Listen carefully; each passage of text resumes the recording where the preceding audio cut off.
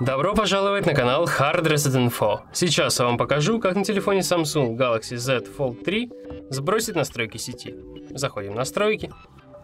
Далее опускаемся вниз, нажимаем на пункт общие настройки, после чего нажимаем сброс, нажимаем сброс параметров сети. Подтверждаем, вводим пароль. Важно, ваш телефон забудет все ранее подключенные Wi-Fi. Если вы согласны, нажимаем сбросить. Появляется надпись «Сброс параметров сети», которая означает, что все прошло успешно. Ставьте лайки, подписывайтесь на канал, а также посещайте наш сайт hardreset.info. До скорых встреч!